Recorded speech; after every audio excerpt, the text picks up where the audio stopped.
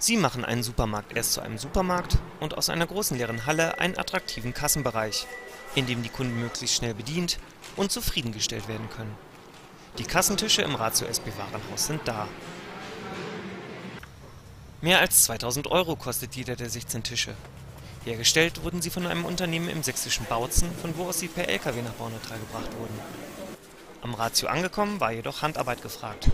Die Kassentische, von denen jeder gut 600 Kilo wiegt, mussten per Rollwagen von der Laderampe aus quer durch den Supermarkt zum Kassenbereich gefahren werden. Nachdem alle Tische an ihrem Platz und fein säuberlich aufgereiht waren, ging es für die Monteure ans Verkabeln. Licht, Elektronik für Scanner und Computer und natürlich die Laufbänder. Um die genau einzustellen, brauchten die Monteure ihr ganzes Fingerspitzengefühl. Schließlich sollen die Einkäufe in Zukunft möglichst präzise und geradeaus über die Kasse laufen